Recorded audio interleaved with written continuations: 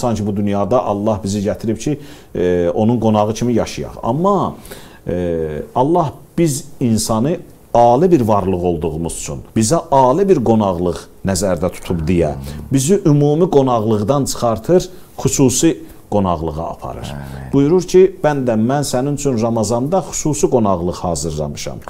Mən istəyirəm ki, sən mənim ümumi qonaqlığımda iştirakçı olduğun kimi səni ayırıb gətirim xüsusi qonaqlığımda da qərar verim. İbtidai ümumi fürsətlər çoxdur və bu fürsətlərdən sadəcə insan bəhrələnsə, insan necə eləməlidir ki, həmin o fürsətləri özünə cəlb eləsin.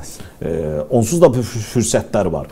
Birini peyğəmbərimiz özü buyurdu ki, siz çalışın özünüzü həmin o fürsətlərin, həmin o yaranmış küləklərin önündə, qarşısında özünüzü qərar verin.